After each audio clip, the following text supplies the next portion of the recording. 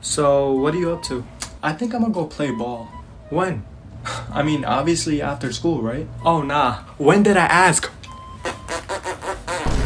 Bro, you just messed up because you just asked me what I'm up to. Who? You! Nah, who cares? Bro, honestly, it's not even funny anymore. It's just childish. Bro, this is exactly why you're not friends with these. Who's these? These nuts? Bro, this is exactly why I'm not making parodies anymore. Wait, why? I love your parodies. Pair of these nuts.